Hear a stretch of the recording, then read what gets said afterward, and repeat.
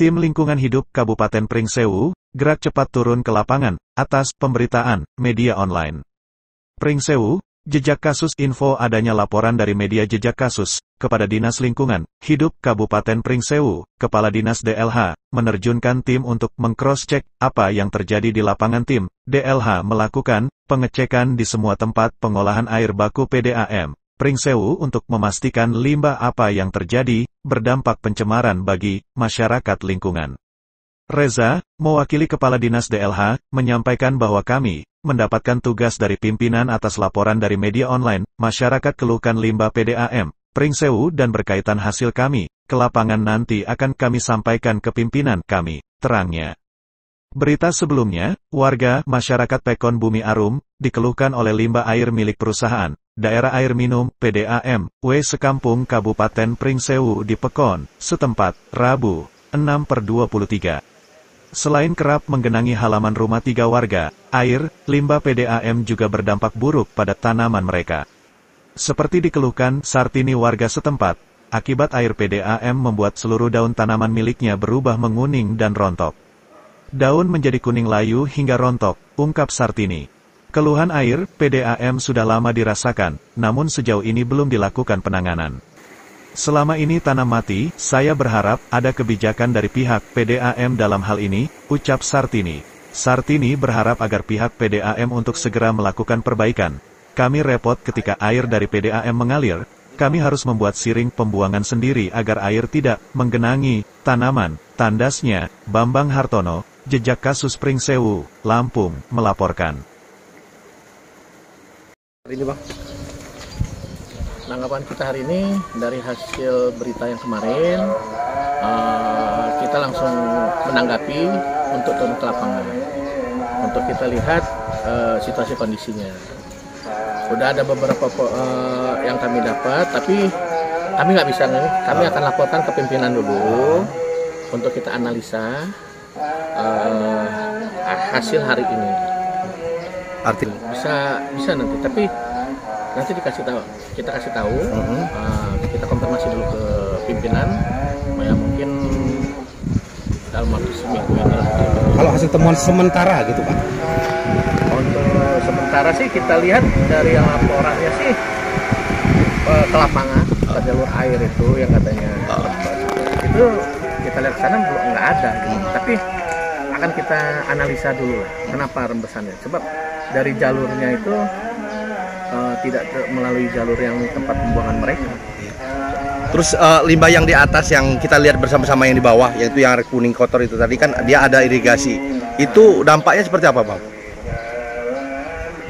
Menurut pengakuan. Pengakuan dari kan uh, dari pipa bawah nih yang berkarat-karat itu kan dia mengalir ke bawah nih. Ada uh, itu seperti apa tanggapan dari Abang sendiri? Uh, pipa yang air. Ya yang di bawah bawah yang kita mau naik ke tangga itu kan terlalu banyak air limbah yang kotor itu. Itu kan larinya kan ke bawah.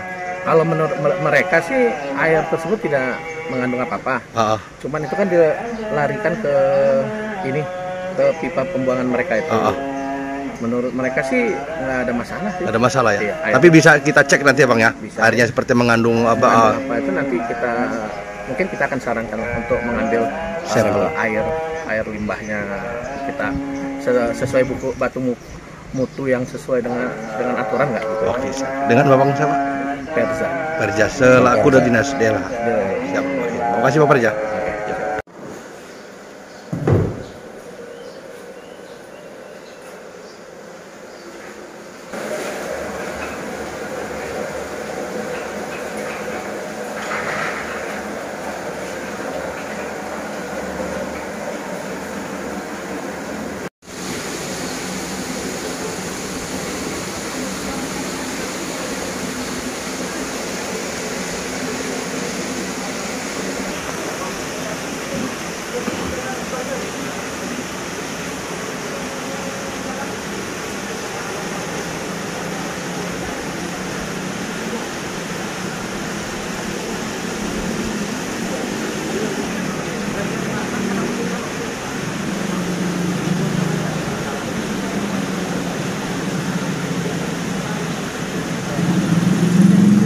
Uh, pihak PDM dengan adanya keluhan dari masyarakat ini? yang jelas ini nanti kan dari hasil kajian nggak lingkungan hidup yang mereka punya eh, kewenangan di dalamnya nanti apa apa yang harus kami lakukan apa apa saran yang harus kami perbuat ya itu yang harus kami lakukan dan yang perlu kami jelaskan bahwa saat ini juga masih ada kegiatan optimalisasi pelaksanaan eh, pengolahan air itu sendiri e, rencananya memang dari program itu akan dibuatkan jadi suatu e, penampungan penampungan air yang tidak terpakai akan kami e, fungsikan di sana.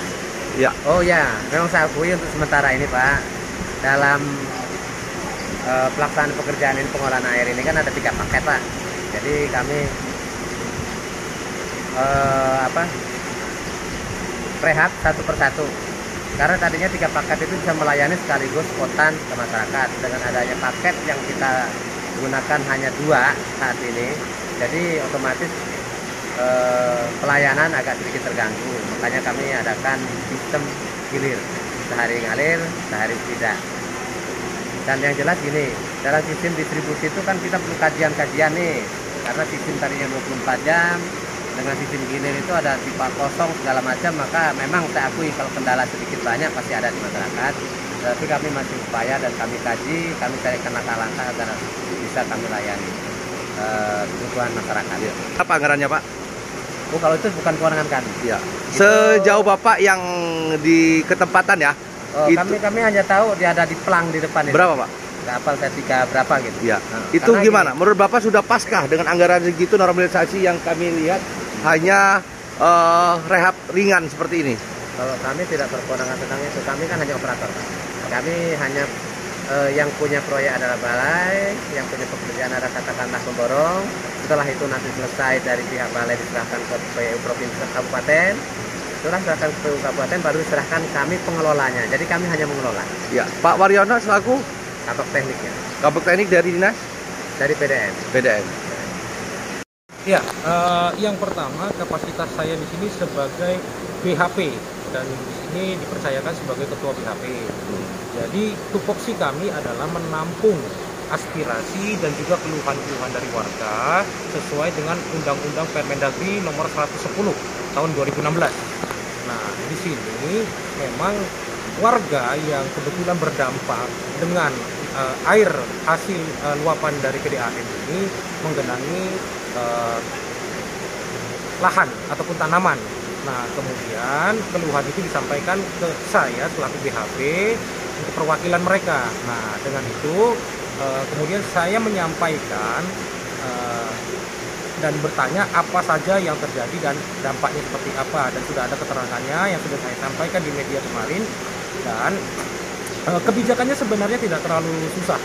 Eh, harapan sebenarnya itu diupayakan, dimaksimalkan supaya ada kebijakan dari pihak PDAM membuatkan siring secara permanen agar air tidak lagi mengalir melalui eh, lahan warga kan begitu. Cuma itu aja sebenarnya Pak. Undang-undang jurnalis nggak Pak?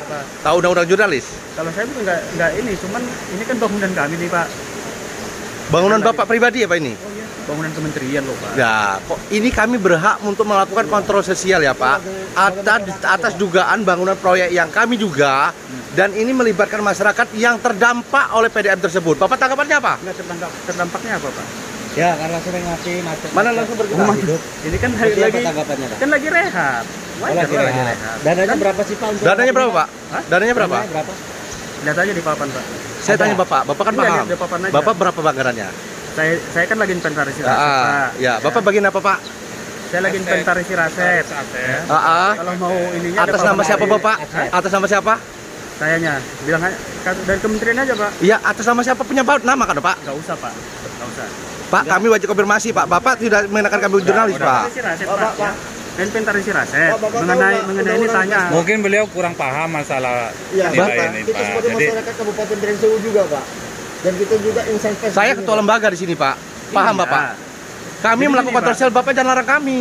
Saya nggak larang, tapi kan kalau meliput gitu loh. ID card apa biasanya kan ada. Ada. Ada kami? Belum, Pak, kita nggak- Nah, Artinya kalau Bapak udah kami dulu ya, Pak. udah Pak, udah Pak. Saya Jangan- minta tolong jangan- jawab jangan- dengan Bapak, ya, kami warga Pak. asli Pringseu ngelarang kami. Sebentar. Nanti akan kami beritakan, kami tanyakan TV Pak. Sebentar, Baru Bapak tahu kan saya Pak. Orang kementerian seperti ini ya. Izin lampor Pak Kementerian. Nih, anggotanya di sini, Pak. Ya. Menyebutkan nama dan pangkat pun tidak mau. Sombong kali kau, Pak. Baru punya jabatan kau, Pak. Belum tahu kode etik wartawannya, Pak. Kalau kita berimbang, jawabannya Ya, tadi Bapak sempat menanyakan surat tugas dan KTA kami Pak sebagai insan pers di Kabupaten Pringsewu. Nah, kapasitas Bapak di sini sebagai apa, Pak? Saya kan tadi disampaikan Pak, saya itu lagi monitoring aset ya. Aset yang ini kan aset kementerian yang lagi lagi monitoring aset. Nantinya kami serahkan ke Pemda. Gitu, Pak. Iya. Pemda Kabupaten Pringsewu, Pemda Pringsewu. Pringsewu. Nah, hasil hari ini apa, Pak? Ini kan bangunan 2006 ya Pak. Tahun 2006 dibangun. Iya. Terus yang sekarang kan lagi rehab, lagi ada peningkatan kualitas. Ya, jadi nanti aset ini kan ada semua, Iya. ada itu aja hasilnya Pak. Dan Pak. berfungsi. Jadi eh, kedatangan Bapak ke sini bukan ada terkaitnya dengan anggaran Oh, proyek ada. 3,4. Bukan. Tadi Bapak menyebutkan tadi di pas wawancara di atas tadi, Pak. Berita berimbang harus berimbang seperti Iya. apa, Pak? Nah kemarin kan saya baca tuh, mungkin yang kemarin di sini ada silakan konsultan tanya, yang Pak. ini ya, Mm-mm. yang jawab. Nah masalah beri- berimbang maksudnya kemarin itu, jadi apa? eh, kalau karena saya lebih ke berfungsian aset yang terbangun gitu. Ya. Jadi lebih ke hasil dari pembangunan ini untuk masyarakat yang ada di Pringsewu. Pak. Gitu, Pak. Untuk tahun 2016 bangunan apa aja sih Pak? Yang 2016. terrealisasi Nggak ada Pak 2016 Pak. katanya tadi dari 2016. 2006 Pak. 2006. 2006. Berarti kita ini cross check ke sini terkait pemberitaan yang kemarin gitu Pak, yang masalah tentang uh, adanya dugaan tentang apa namanya rehab ini gitu Pak. Heeh. Itu kita tinjau ke sini. Terus apa hasil dari ini ya Pak, tinjauan kita di sini Pak? Nggak tahu kan Bapak ini jawab. Lah tujuan Bapak datang ke sini? Monitoring Katanya- aset. Oh monitoring aset Iya. aja. Hasil dari monitoring itu apa seperti apa, Pak? Barangnya ada dan lengkap. Lengkap. Dan Berarti tidak ada temuan. tidak ada. T- Tidak ada masalah, Bapak yakin atas nama siapa, Bapak? Kenalan dulu kita. Saya Utahayan, Pak. Apa Nama jabatannya, Pak? Saya staf aja Staf dari mana, Pak? dari Balai. Balai? Prasarana Permukiman. Ya, Oh. kan ada di situ. Oh iya. Nah, Ah, ah. Itu kan ada. Tadi Tadi Bapak menyebutkan eh, dari kementerian Iya. kementerian apa itu Pak maksudnya? Itu kan ada juga, Pak. Kementerian Pekerjaan Umum. Mm. Tapi Bapak Nah. bukan dari kementerian kan? Kami kan unitnya yang ada di provinsi, Pak. Ya, saya paham. Iya. Ya, oke. Terus eh, dengan Bapak melarang kami untuk liputan tadi, Saya tidak melarang, Pak. Justru- ada videonya kami, Pak. Justru yang saya ini kenapa tidak pakai ID card kan? Gitu loh. Kami pakai Bapak tidak melihatnya, Ya Pak. kan tadi nggak ada, makanya saya tanya ID-nya mana. Kan baru di- baru baru dipakai kan? Pak David, konfirmasi masalah teman-teman yang itu. diduga. Kata dia tidak ada temuan. Katanya nggak ada kewenangan Hmm? untuk ini ya. Uh, tempat ada temuan nggak di sini? Kalau aset yang dibangun 2006 tidak ada temuan, Pak. Kalau yang baru dibangun ini? Yang baru dibangun saya nggak tahu kan ini belum selesai kan? ini? Kan belum selesai, Pak. Oh iya. Kan masih ber- berproses. Banyak beritamu tidak berimbang gimana apa, apa, gimana? apa ini, Pak? Ah, katanya berita